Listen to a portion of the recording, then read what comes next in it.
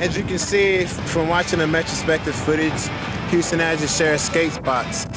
Um, but there's also other good places to skate, like the Medical Center around downtown, uh, Skate Park Houston.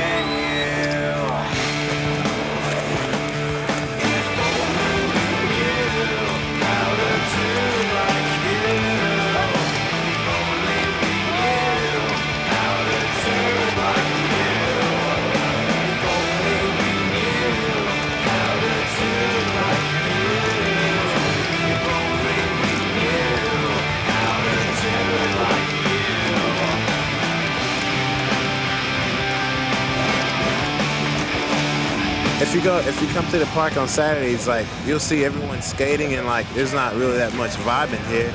It's pretty rad.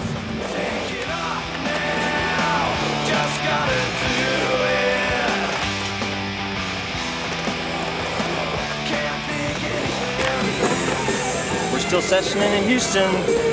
Come session here. Later.